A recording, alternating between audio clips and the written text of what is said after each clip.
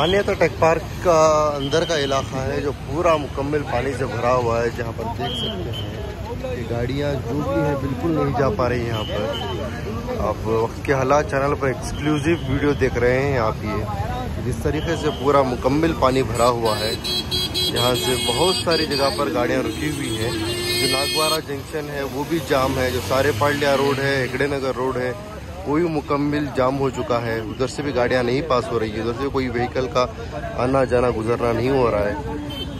इस तरीके से आप देख सकते हैं कि पानी बहुत भरा हुआ है यहाँ पर। कसीर तदाद में यहाँ पर पानी भरा हुआ है।